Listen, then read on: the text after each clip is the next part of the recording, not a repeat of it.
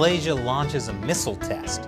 It sends a message to China that Malaysia will fight for the South China Sea.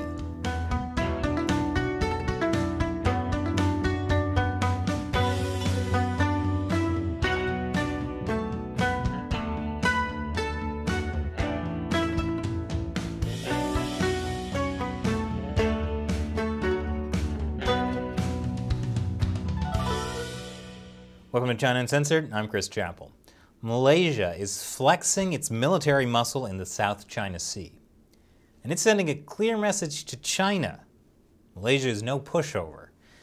Malaysia just held six days of military drills called Taming Sari 2021.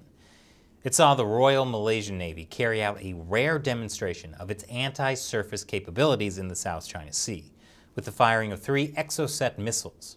According to a regional security analyst, these drills would send a clear message across to other South China Sea claimants, including China, that Malaysia is no pushover, and nor is it unprepared to use force, even against the likes of China, which now has the largest navy in the world. The Chinese Communist Party claims almost the entire South China Sea, putting it in territorial conflicts with the Philippines, Vietnam, Indonesia, Brunei, and of course, Malaysia. This was Malaysia's first wartime drill since the coronavirus pandemic began last year, and it's no surprise why. At the end of May, Chinese military aircraft breached Malaysian airspace. Malaysia scrambled its own aircraft after the Chinese aircraft ignored warnings to leave. It caused a huge diplomatic fallout. Nevertheless, Chinese Coast Guard ships have since early June also been putting pressure on and harassing new Malaysian oil and gas projects in the South China Sea. And that's at least the third time since last spring.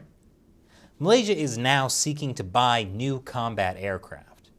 Of course, despite Malaysia's recent military drills, they know that in order to counter an aggressive Chinese Communist Party, they need allies. Which is why, earlier this month, Malaysia joined US led military drills in Southeast Asia. In addition to Western nations like Germany and France, Several other countries with competing South China Sea claims also joined, like the Philippines and Vietnam. And yes, the US and Communist Vietnam are joining military drills together. That's how much everyone is concerned about China. In fact, in a recent speech in Singapore, U.S. Vice President Kamala Harris had this to say In the South China Sea, we know that Beijing continues to coerce, to intimidate, and to make claims to the vast majority of the South China Sea. Of course, there are major challenges for Malaysia if it wants to stand up to the Chinese Communist Party. More after the break. Welcome back. Malaysia is sending a clear message to China. It will fight for its territory in the South China Sea. But challenging China will be difficult. It's not enough to stand up to China militarily. China is also powerful economically and politically. China has been Malaysia's biggest trading partner for a decade. China's oil imports from Malaysia have tripled in the past year. And the coronavirus pandemic is devastating Malaysia. Parts of the country remain under lockdown, and about half of the nearly 14,000 coronavirus linked deaths took place in the last four weeks. In fact, adjusting for population size, Malaysia's daily reported COVID cases are among the highest globally. Only about 35% of Malaysia has been fully vaccinated. The goal is to reach 60 to 70% by October. And China is more than happy to help with some very effective Chinese vaccines. And that's just the first shipment of a 3.5 million dose order. Earlier this summer, Malaysia had actually announced it would stop using another Chinese vaccine, Sinovac because they had gotten a lot more Pfizer vaccines. I guess they hope that CanSino is better than Sinovac. But Malaysia faces another big challenge if it wants to stand up to China its own political infighting. Last week, Malaysia got a new prime minister, the third in three years. That's not a great sign. The new prime minister is Ismail Sabri Yaakob. He was appointed by the King of Malaysia after the previous prime minister lost the support of parliament. The new Prime Minister now faces an immediate challenge of taming Malaysia's surging COVID infections and rising death count, as well as reviving an economy that has suffered from multiple rounds of lockdowns. All areas where China will be happy to help. For years, China has been trying to get a foothold in Malaysia through corrupt infrastructure projects as part of the Belt and Road Initiative. In 2018, I did an episode about a shady Chinese built dam that could potentially kill thousands. I'll put a link below.